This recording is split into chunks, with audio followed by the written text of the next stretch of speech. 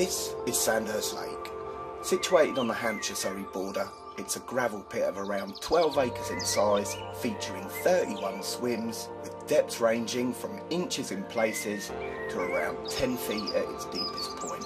Sandhurst boasts an impressive stocking of carp, with several mirror carp such as Nigel's fish, scaly, pinhead and sea scale having broken the 40 pound barrier, along with Wally's common and bubbletail, another common which hover around the 40 pound mark too.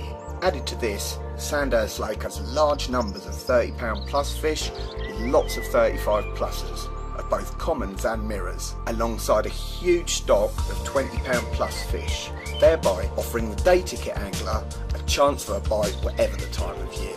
Sandhurst responds extremely well to a wide variety of carp fishing techniques and tactics, ranging from a single hook bait or PVA bag approach for those fishing shorter sessions, right through to the mass baiting approach for those with a little bit more time on their hands. My name's Jamie Smith, and lucky enough for me, I've been a bailiff on the water for a good long number of years now.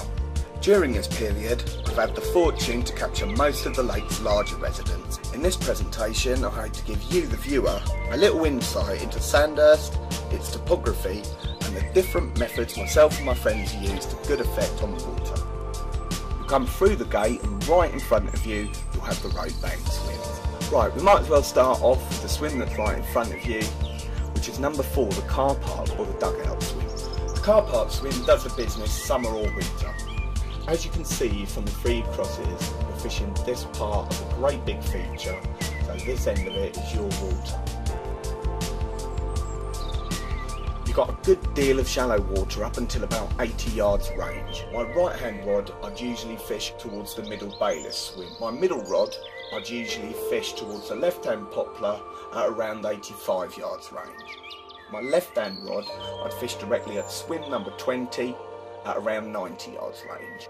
You don't want to go too far left and too far because then you'll be encroaching on number 10's water and you don't want to go too far off to the right or too far because then you'll be encroaching on the pipe swim's water. There's also a couple of deeper spots off to the left at around 45 to 60 yards.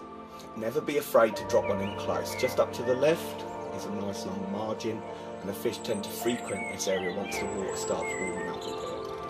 This swim can accommodate two anglers wishing to fish together. Alternatively, there's a nice slope into the swim so it can accommodate disabled anglers too.